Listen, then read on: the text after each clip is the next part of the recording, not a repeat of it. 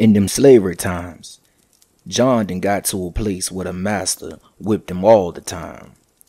Someone told him, Get you a mojo. It'll get you out of the whooping.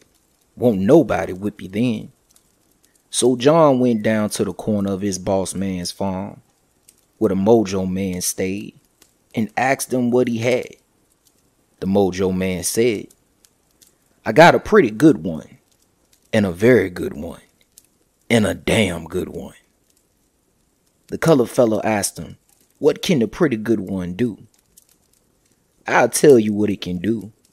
It could turn you into a rabbit, and it could turn you to a quail, and after that, it could turn you to a snake. So John said, I'll take it. Now, next morning, John's asleep. He sleeps late. Around about nine o'clock, the white man comes after him, calls him, John, come on, come on now, get on up there and go to work. Plow the taters and milk the cow. Then you can go on back home. It's Sunday morning. John says to him, Get on out from my door. Don't say nothing to me. Ain't gonna do nothing. Boss man says, Don't you know who this is? It's your boss. Yes, I know, John says. I'm not working for you anymore. All right, John. Just wait till I get home. I'm coming back and I'm going to whip you. Now, the white man went back and got his pistol and told his wife, John is sassy. He won't do nothing I tell him. You know what? I'm going to whip him. He goes back to John and calls. John, get up there. John yells out, Go on away from that door and quit worrying me. I told you once I ain't going to work. Well, then the white man, he falls against the door and he broke it. Broke it right on open.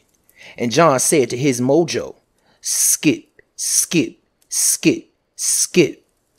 He turned into a rabbit and run slap out the door by the old master. And he's running, son of a gun, that rabbit was. Boss man says to his mojo, I'll turn to a greyhound.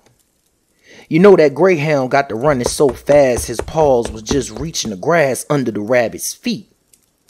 Then John thinks, I got to get away from here. He turns to a quail and he began sailing fast through the air. He really thought he was going. But the boss man says, I'll turn into a hawk. That hawk sails through the sky like a bullet and catches right on up to that quail. Well, then John says, You know what? I'm going to turn to a snake.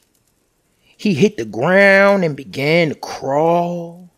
That old snake was naturally going to get on his way. Then the boss man says, Well, you know what? I'll turn to a stick and I'll beat your ass. This rendition of High John and the Mojo comes from Richard Dorson, American Negro Folk Tales, told by Abraham Taylor.